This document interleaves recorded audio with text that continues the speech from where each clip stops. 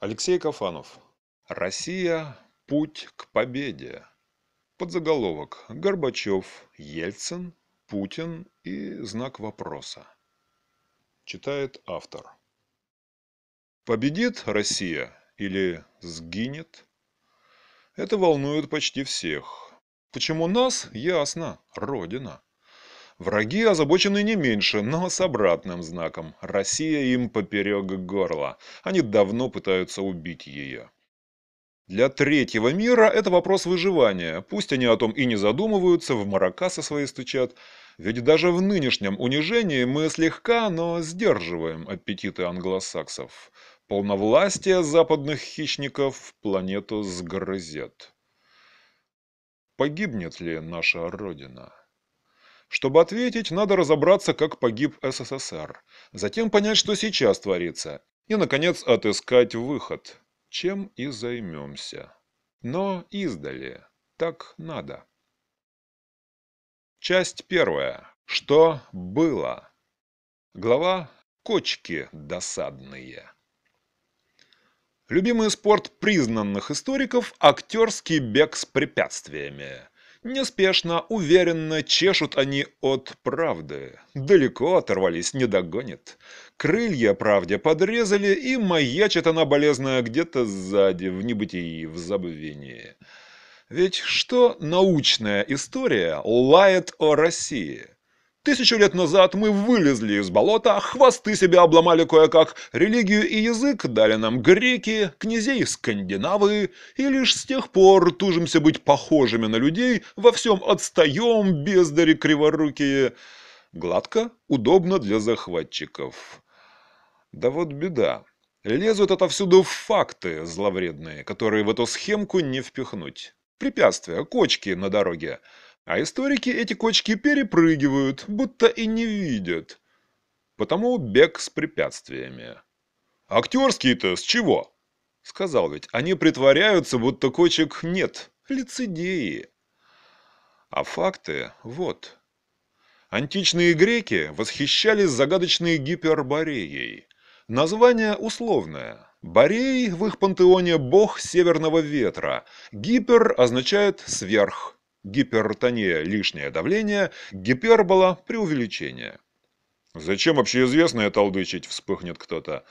Увы, не все читатели одинаково грамотны. Итак, гиперборея сверх северного ветра, то есть дальше него, крайний север.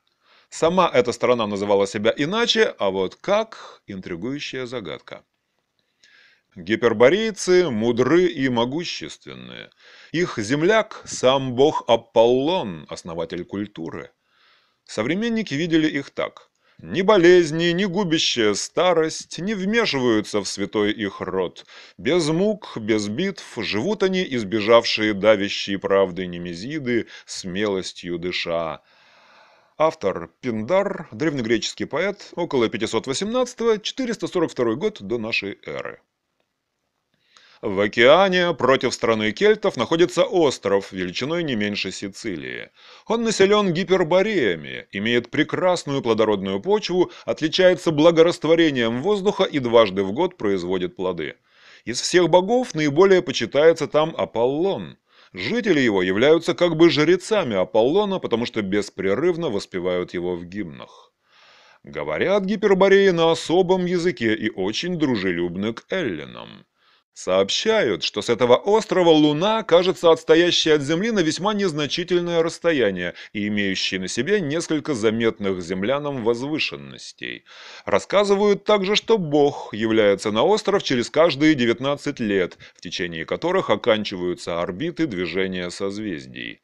Автор Гекатей Абдарский, древнегреческий историк IV века до нашей эры. Здесь находятся петли, на которых вертится мир. Сноска, возможно, речь о полюсе, ведь сквозь него как бы продета ось вращения Земли, то есть мира. Здесь находятся петли, на которых вертится мир и самые дальние края звездных орбит.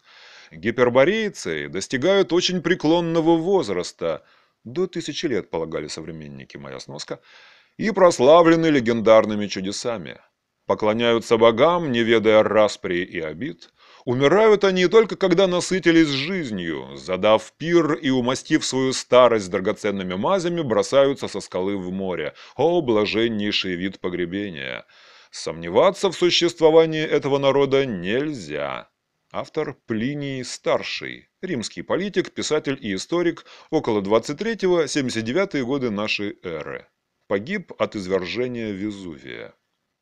Что древние авторы разумели под окончанием орбит и петлями, надобно расшифровывать, однако реальность Гипербореи для них бесспорна. Признанные же историки обозвали ее мифом – Современникам верить или толкователям спустя две тысячи лет? Решайте сами.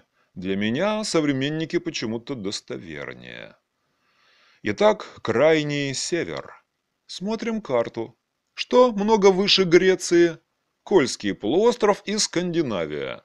Сноска, точнее Фенноскандия, куда кроме Норвегии и Швеции входит и Финляндия. Гиперборея где-то там, а точнее Ищем в других источниках. Кроме эллинов и римлян, слыхал кто-нибудь о полярной стране? А как же? Индийские веды вспоминают ночь и день по полгода, замерзающее море, пламя небесное, северное сияние. Можно такое выдумать? Да не в жизнь. Так что вот вам факт. Авторы вед из-за полярья пришли в Индию и отворили местным тайны бытия. Это независимое подтверждение реальности полярной сверхцивилизации. Но кто жил там? Предки норвежцев или шведов, предположите вы? Возможно. Роем дальше. Ученые знают, что все евразийцы произошли от праиндоевропейского народа с языком, близким к санскриту. Знают давно. Уже в середине XIX века сказано кудряво, но точно. Наука дает языку санскритскому первое место в семье индоевропейской, ибо он, сохранив в органической целости свойства, являющиеся рассеянно в прочих ее членах, составляет, так сказать, средоточие всей этой семьи. С тех пор ученые не передумали. Чудно, санскрит сохранился в Индии, значит там и общий предок, скажете вы. А вот и нет. Дело в том, что к санскриту необычайно близок русский язык. Индийский лингвист Дурга Прасад Шастри в 960-е приехал в СССР и отпустил переводчика.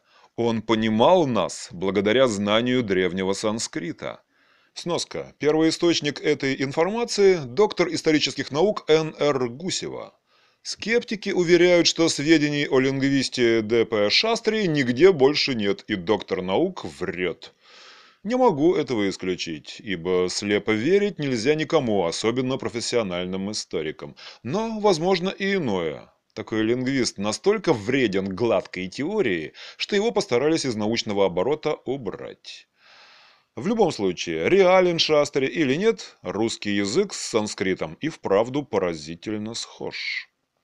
Возвращаюсь к своему тексту. Индийский лингвист Дурга Прасад Шастри приехал в СССР и отпустил переводчика. Он понимал нас благодаря знанию древнего санскрита. И позже заявил, если бы меня спросили, какие два языка мира больше всего похожи друг на друга, я ответил бы без колебаний – русский и санскрит. В этих языках не только сотни общих корней, но и общий синтаксис. Вот лишь один пример, чтоб не загромождать. На санскрите 234 звучит как «двишата тридаса чатвари». Со скандинавскими языками такого сходства не наблюдается. По-норвежски тоже число 234.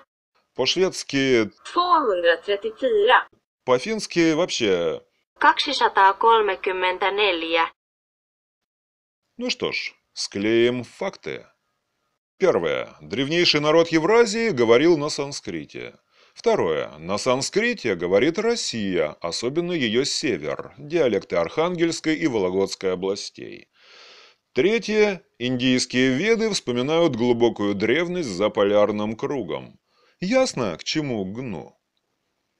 Плиний Старший писал о том же. За Тафрами вглубь материка живут аухеты, в чьей земле начинается Гипанис, и невры, у них Борисфен. Гелоны, Тессагеты, Будины, царские скифы, кочевники, савроматы и эсседоны. По берегу же Танаиса – меоты, от них название Меотийского озера. За ними живут аримаспы, Потом Рипейские горы и область под названием Птерофорос. Так ее зовут по причине непрерывно идущего там снега в виде перьев. За Рипейскими горами живет блаженный народ гипербореев. Для них солнце каждый год восходит однажды, в день летнего солнцестояния, и заходит однажды, в день зимнего солнцестояния. Конец цитаты. Прорвались сквозь словеса, дух перевели? Тарабарщина какая-то. Что ж, переведу с птичьего на русский. Тафры – это тавры, жители Тавриды, то есть Крыма. Аухеты – скифское племя. Сноска. Ученые спорят о происхождении скифов, но сошлись на том, что это были голубоглазые блондины с гаплогруппой R1A, присущей индийским брахманам, русским и еще некоторым восточнославянским народам. Судите сами, чужды ли они нам. Гипанис – это река, Кубань или Южный Буг. Невры жили на землях нынешних Украины и Белоруссии. Борисфен – это попросту Днепр. Гелоны и Будины – народы с неясной ученым локализацией, возможно, в районе Саратова. Киссагеты жили севернее их. Царские скифы были оседлы и главенствовали над прочими скифами. Савроматы – это сарматы из степей Поволжья. Сноска. Сарматов считают предками осетин, русских казаков и польской шляхты. Савроматы – это сарматы из степей Поволжья. Эсседоны жили на Среднем Урале. Река Танаис – это либо Дон, либо Северский Донец, Меотийское озеро – Азовское море, Аримаспы – одноглазый народ. Трудно сказать, мифический или тут отражена некая реальность. Репейские, по разным мнениям, либо Уральские горы, либо перпендикулярная им гряда Северные Увалы на широте Вологды. В данном контексте второе вероятнее. Возьмите карту и прогуляйтесь по ней вслед за Плинием. Нет, вы возьмите, лень вредна. Увидите, гиперборейцы жили на Кольском полуострове или выше, на затонувшей впоследствии земле, остров размером с Сицилию. Скандинавы тут ни при чем, они далеко сбоку. Заодно оцените обилие народов в европейской России. Сноска. Видимо, таких же народов, как нынешние новгородцы, тверичи, питерцы, украинцы. Народ один, разные, лишь точки обитания. Возвращаясь к своему тексту. Заодно оцените обилие народов в европейской России – Историки мычат, что никого там не было. Предки русских выползли откуда-то лишь в восьмом веке нашей эры. Еще раз. Праиндоевропейцы жили на русском севере. Язык их был прорусский, а потомки до ныне там же. Это мы с вами. Русский народ древнейший на планете. Кочка. Целый валун. Бегуну не споткнуться, вслякать размазаться. Но официальные историки мимо чешут, не замечают, не досуг им. «Да нельзя там жить, там мерзлота!» – влепите вы возмущенно. Я отвечу, сейчас да. Но раньше на русском севере было благорастворение воздуха и два урожая в год. Там найдены даже массы слоновых скелетов. Климат изменился, и наука это давно знает. Да и слово «борей» звучит абсолютно по-русски. «Борец» с одной измененной буквой. И с измененной ли? Ведь окончание «ей» означало то же, что и «ец», делателя того, что выражено корнем. Брадобрей, злодей, суховей. Северный ветер ассоциируется у вас с борьбой, насилием, сопротивлением? У меня – да. А как же благорастворение? Даже в теплом климате ледяной ветер неприятен. Ладно, допустим, веды врут, Геродот врет, не было гипербореи. Но куда сунем Аркаим, господа историки? Урал – сердце России, третье тысячелетие до нашей эры. Задолго до Гомера. Египет едва зарождался. А на русской земле город со следами прекрасного знания астрономии и металлургии. Кто в нем жил? Трясу я историков за шкирку. Они зубами скрипят. Помешали нам, гады, затопить этот город хренов водохранилищем, чтоб лишних вопросов не будил. Жил-то кто там? Да уж, конечно, не русские. Не было русских, не было. Мамой клянемся. Там жили э, чебурашки с планеты Шапокляк. Историки бессильны выдумать народ, который мог жить на Урале три тысячи лет назад. Но пустить туда наших предков значит разрушить гладкую теорию.